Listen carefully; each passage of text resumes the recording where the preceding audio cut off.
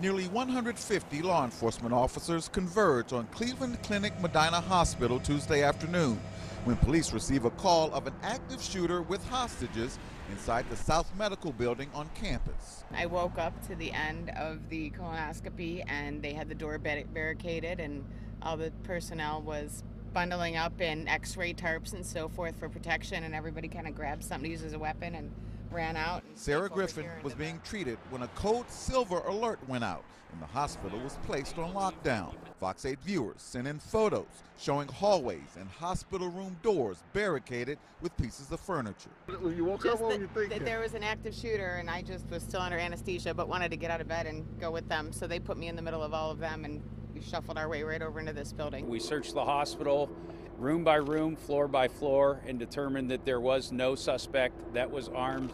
We did not locate that, and we believe it was a false complaint. Police gave the all clear around 3:30 p.m about two hours after receiving the call. When something like this happens, we have a procedure that is in place. We means we will secure the premises, we lock down the hospitals, and we in particular take care of the patients who need our, our services at the most. One of the first things we did once we entered into the building, we deployed officers into the critical areas, uh, the ER, any type of surgery, uh, the ICU, so we had officers staged there so that they could maintain their operations. Hospital officials say no patients were injured and all continued to receive care. Why do why do this to people? You know, we had people in surgery.